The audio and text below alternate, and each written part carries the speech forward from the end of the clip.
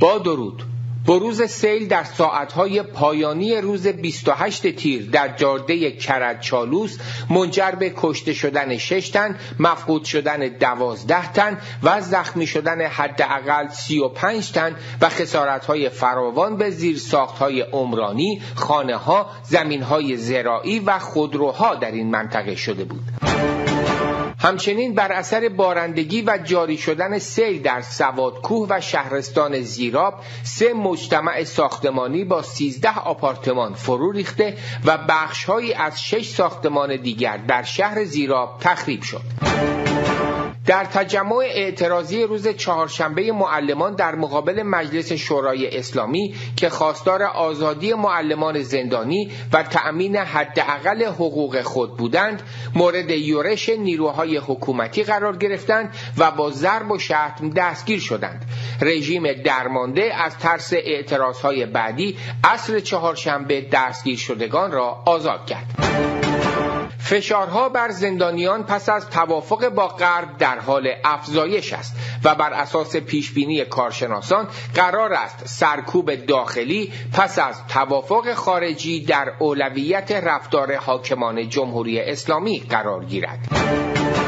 نیروهای گارد زندان اوین طی دو مرحله به زندانیان محبوس در بند هشت یورش برده و به طرز وحشیانه ای زندانیان را از خواب بیدار کرده و همه آنها را راهی کریدورها و راهروهای بند کردند. ماشین اعدام جمهوری اسلامی بلافاصله پس از پایان ماه رمضان به کار افتاد و سهرگاه روز چهارشنبه ده زندانی در زندان رجایی شهر کرج را به کام خود کشید. نانسی پلوسی رهبر اقلیت دموکرات در مجلس نمایندگان آمریکا در نشست خبری در مرکز مطبوعاتی کنگره گفت موضوع زندانیان عقیدتی در ایران مورد توجه دولت آمریکاست. بن رودز معاون مشاور امنیت ملی آمریکا گفته رژیم ایران اعلام کرده حاضر است در مورد سوریه وارد مذاکره شود. نخست وزیر رژیم سوریه از رژیم ایران خواست به دنبال توافق هسته‌ای و آزاد شدن پولهای بلوکه شده این کشور تهران سرمایه گذاری ها و وامهایش به سوریه را افزایش دهد. احمد شهید گزارشگر ویژه سازمان ملل گفته پس از توافق هسته‌ای اینک زمان تمرکز روی مسئله حقوق بشر در ایران است.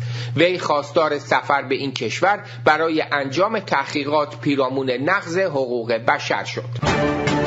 بر اساس جزئیات توافق هسته‌ای رژیم ایران باید ظرف مدت 24 روز امکان دسترسی بازرسان به تأسیسات مشکوک خود از جمله مراکز نظامی را فراهم آورد و اگر از این اقدام سر باز زند با احتمال بازگشت تحریم های سازمان ملل متحد مواجه خواهد شد. گروهی از نمایندگان مجلس و فرماندهان سپاه گفتند نظام و مجلس محدودیت ها برای دستیابی به موشک های بالستیک را نخواهد پذیرفت.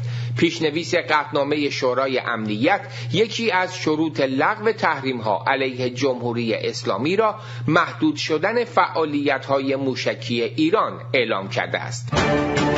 سازمان عفو بین الملل طی بیانیه‌ای صدور حکم حبس برای تاها کرمانی و حسین علی محمدی را محکوم کرد این دو فعال مدنی به اتهام سوزاندن پرچم جمهوری اسلامی هر کدام به ده سال حبس محکوم شدهاند.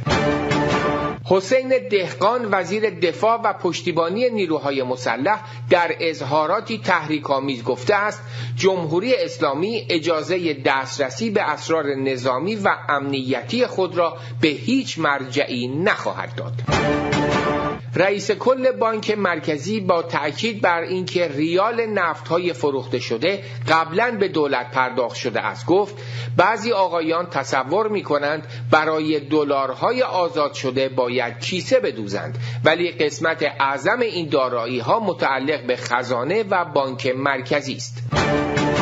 رفسنجانی در دیدار با مسئولان سازمان تامین اجتماعی در واکنشی تند به اظهارات اخیر خامنه ای ضمن دفاع از عقب نشینی جمهوری اسلامی. از مواضع هسته ای گفت افرادی الان آنچنان میاندار شده اند که انگار از آسمان آمده اند و ولایت دیگری آورده اند رئیس جمهور آمریکا روز سهشنبه در سخنانی هشدار دهنده گفت با وجود توافق هسته‌ای ما همچنان اختلافاتی جدی با رژیم ایران خواهیم داشت. از جمله حمایت آنها از تروریست و مزدورانی است که خاور میانه را بی ثبات می کنند ما نمی توانیم آنها را راحت بگذاریم که هر کاری بخواهند انجام بدهند. خامنه ای در نماز عید فطر گفته بود سیاست های آمریکا در منطقه 180 درجه متفاوت از سیاست های جمهوری اسلامی است. چه توافقنامه هسته ای تصویب بشود و چه نشود ما از حمایت دوستانمان در منطقه دست بر نخواهیم داشت.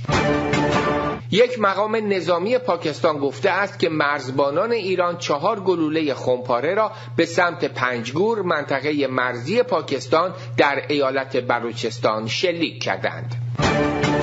رئیس جمهوری ایالات متحده گفت که زندانیان آمریکایی که همکنون در زندانهای ایران به سر می‌برند باید آزاد شوند. متن مذاکرات هسته‌ای وین به همراه پنج پیوست درباره جزئیات فنی و اجرایی مذاکرات منتشر شد. در این بیانیه آنچه از همه برای نظام تلختر است از کار افتادن هسته راکتور آب سنگین عراق با بتون است. بر اساس بند سوم ماده دوم پیوست اول هسته یا دیگ راکتور عراق میبایست برای اطمینان طرف غربی از عدم استفاده میله های سوخت با بتون پر شود. شب و روزتان خوش.